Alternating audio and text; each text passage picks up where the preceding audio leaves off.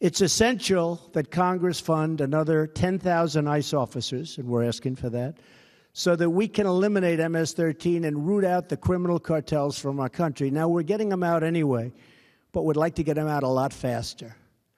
And when you see these towns and when you see these thugs being thrown into the back of a paddy wagon, you just see them thrown in, rough.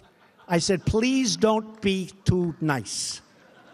Like when you guys put somebody in the car and you're protecting their head, you know, the way you put their hand over. Like, don't hit their head and they've just killed somebody, don't hit their head. I said, you can take the hand away, okay?